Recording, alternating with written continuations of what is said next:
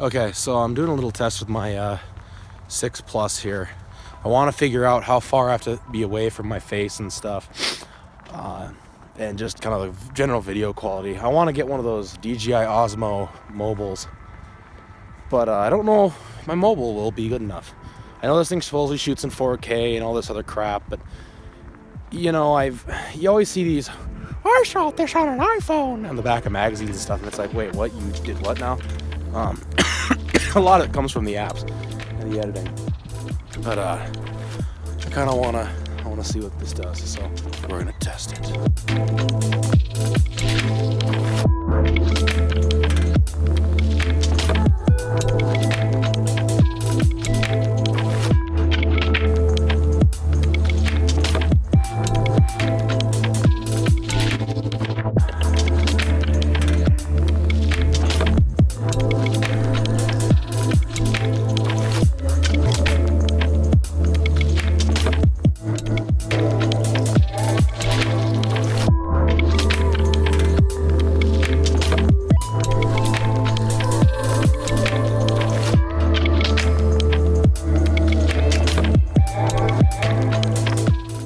You know, I'll say one thing I really like the auto uh, balance on this, like the uh, brightness and stuff, is really cool because it actually gets the sky really well.